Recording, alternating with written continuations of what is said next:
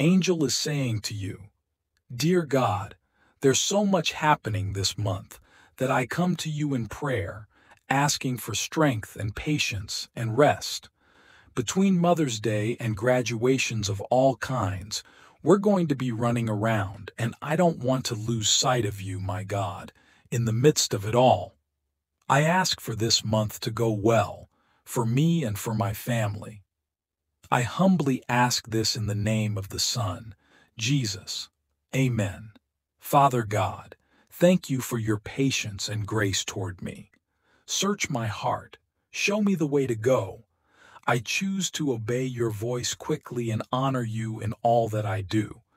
In Jesus' name I pray. Amen.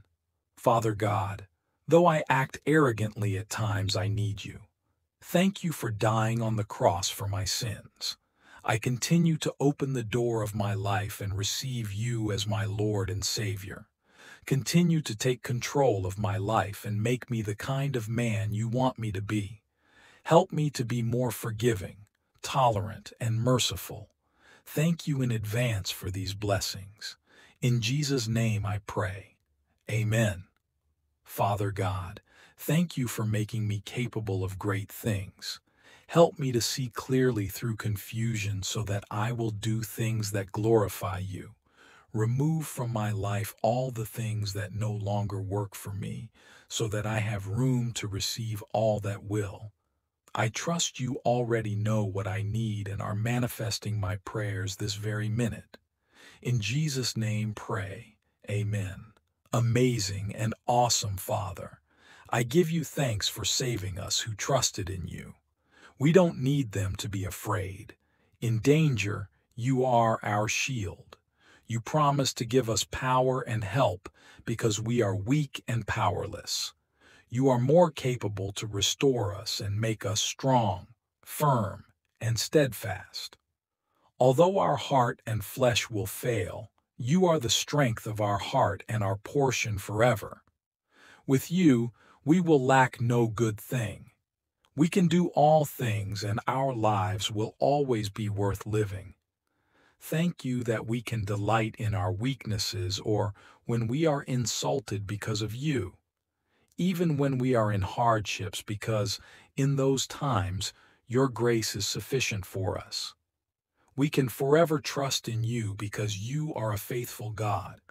You are powerful and big enough to protect us from the evil one. In Jesus' name, I give thanks. Amen, Heavenly Father. I pray that we will love you before everything, with all our heart, passionately, all our soul, willfully, all our mind, thoughtfully, and all our strength, practically, live like you. Let that love show in our words and deeds. I thank you that you are our provider, so we can ask you for our daily needs. Nothing is too small or too large for you. Nothing is too difficult or easy. Distance is not a problem for you, nor heights. And no hearts can withstand you because your word is alive and living, full of energy, active and effective. It is sharp like a double-edged sword. Father, Help us to give what we ought to give to you and people we encounter every day, like family, close friends, or friends on social media. Help us to prioritize you in every area of our lives, above ourselves, our wants, and our needs, because you provide for them all according to what is best for us.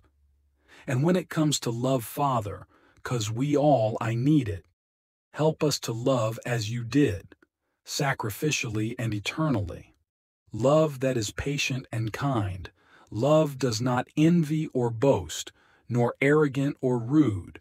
Love that does not insist on its own way, either irritable or resentful, and does not rejoice at wrongdoing, but rejoices in the truth. Help us to serve others unselfishly and be willing to serve as Jesus did. And lastly, let us our lives proclaim you the good news. In Jesus' name I pray. Amen, Jesus, the great physician. I worship you today, for you are the God who forgives all sins and heals all our diseases.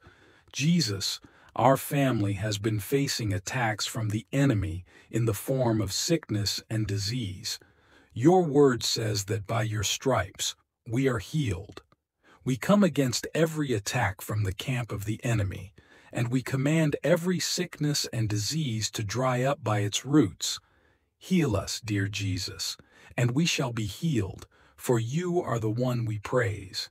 I pray for healing, wholeness, and restoration for every member of this family. In your merciful name, we pray. Amen. Almighty Father, thank you for your love and presence in my life. Thank you also for giving me another opportunity to be filled with your light, understanding, and peace. Father, your presence in my life brightens my whole being, my mind, my heart, and my soul. With you at my side, I feel that my life is worth living despite the roadblocks and struggles on the way. Father, I beg you to bless me with peace of mind and remove those noises inside me that disturb my focus, my motivation, and my productivity. Father, Keep my heart always on fire by your Spirit that I may persevere and easily bounce back in life in the midst of setbacks and difficulties that I am meeting on the road of life. In Jesus' name, amen. Omnipresent Lord, thank you for the gift and breath of life this day. Thank you for giving your children a place to lay our heads. Others have no place to sleep at night Please remember them. I pray for your peace and love in my home today. Please be our surveillance in this house 24 7. Protect us from any evil invasion in this house, my Lord. Let us sleep peacefully and not worry about the enemy. We commit this house into your care, dear Lord. Send your angels to be our guards in every room in this house. Let the walls in this house be as strong as metal, dear Lord. Let your defensive spirit be our soldier in this house. Even when nobody is home, we invite you to stay in this house. Grant us your protective chand and shield us from all evil. Thank you for answering our prayer, dear Lord Amen. Dear Lord, I come before your throne today, not to ask for anything, but to simply say, Thank you. Thank you for the gift of life and the lives of my family. Thank you for my job and for all the food you provide for us. Thank you for your strength and the health you've given us. Thank you for giving us a place to lay our heads. We are truly grateful, Lord. Thank you for your traveling mercies. For being our shepherd through dark times, we want to say thank you. For saving us from our own traps, we say thank you for saving us from the traps of our enemies. We thank you. We give you all the glory and adoration for all that you do for us. I am humbled by your grace and your everlasting love for me. Thank you, dear Lord. Amen. Thank you, Lord, for everything you have done for me. Forgive me of all my sins. Heal me from the hurts from the past and present. I love you and need you to cover me with your precious and holy blood, my family, my friends, my loved ones. Give me your blessings, Lord. Guide, comfort, and protect everyone that seeks you, needs you, and believes in you. If you love God and you are not ashamed of him, put this on your wall for a day and you will see what he will do.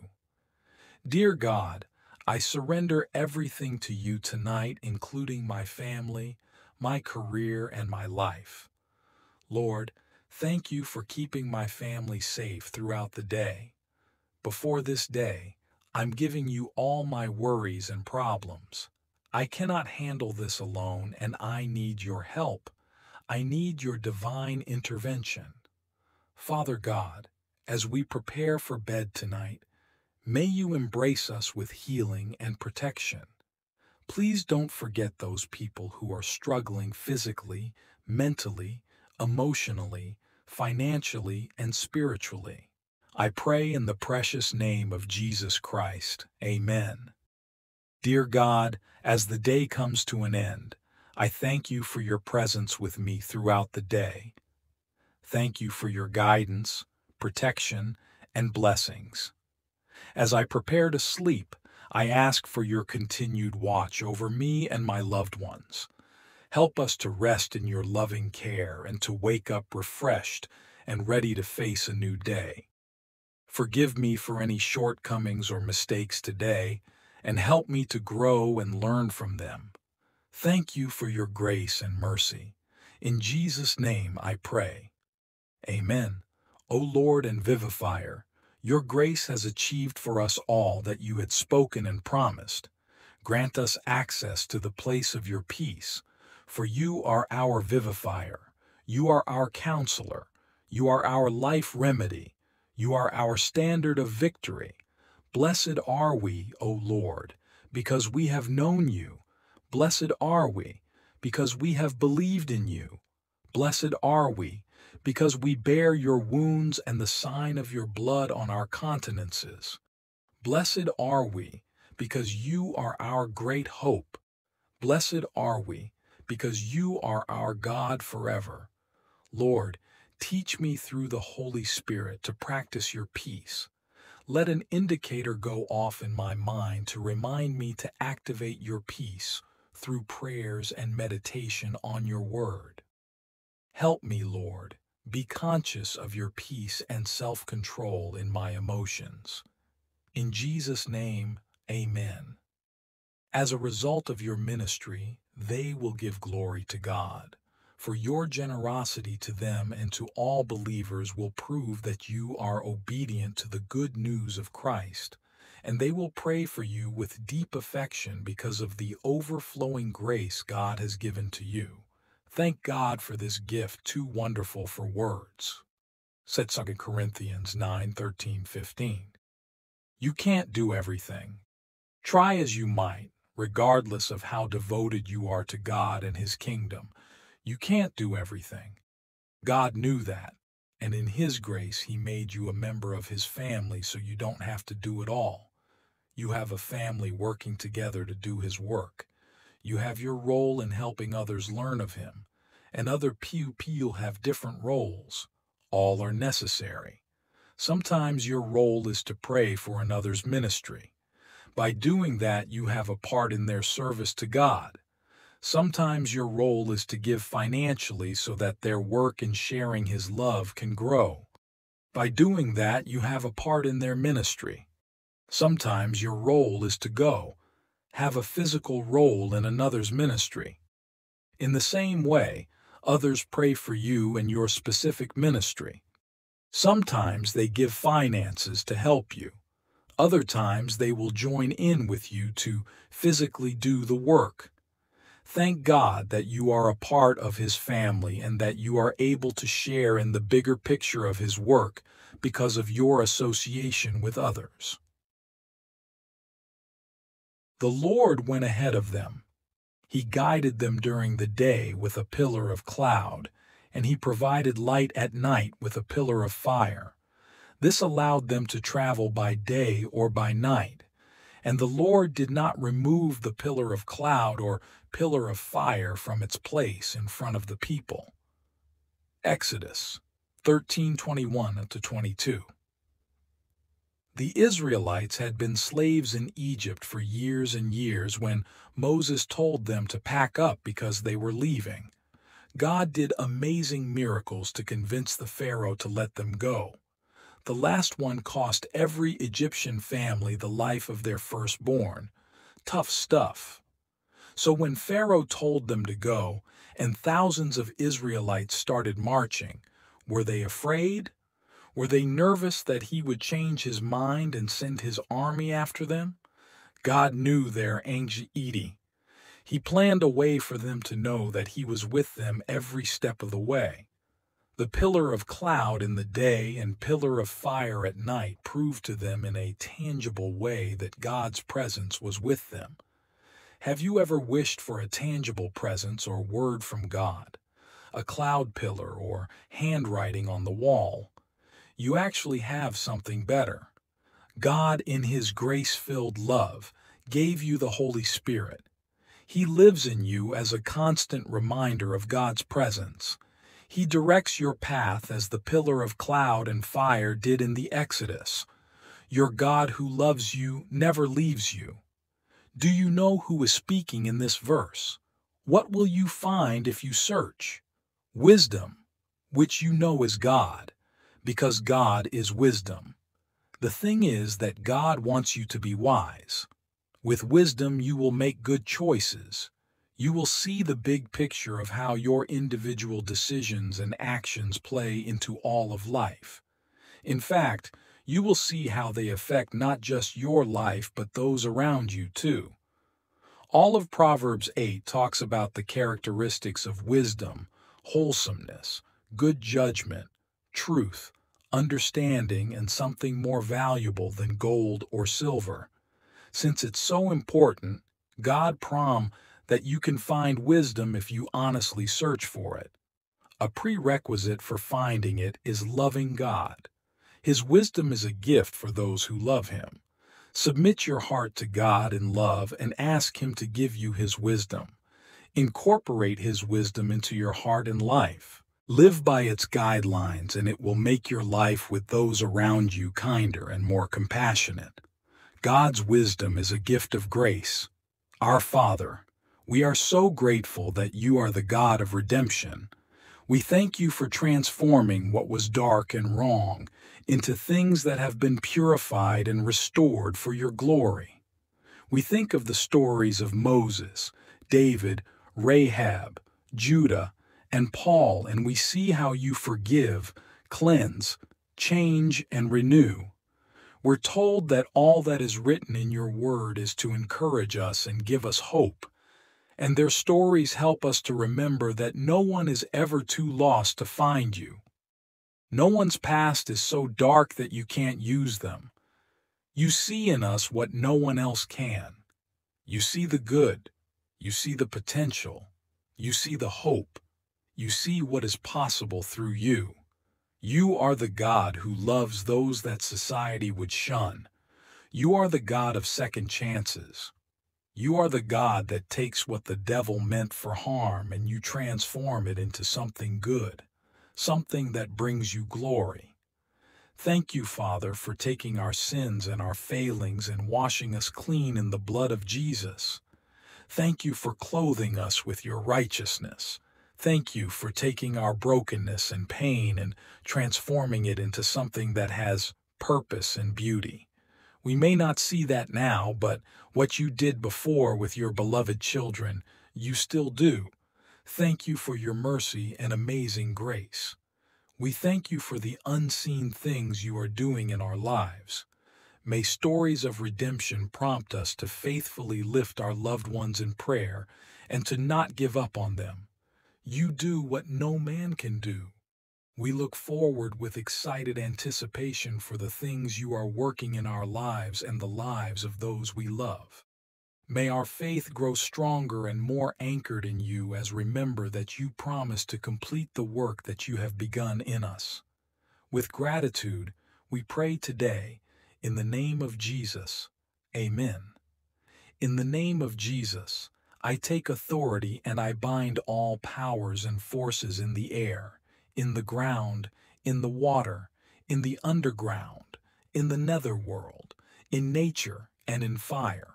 You are the Lord over the entire universe, and I give you the glory for your creation. In your name I bind all demon forces that have come against us and our families, and I seal all of us in the protection of your precious blood that was shed for us on the cross.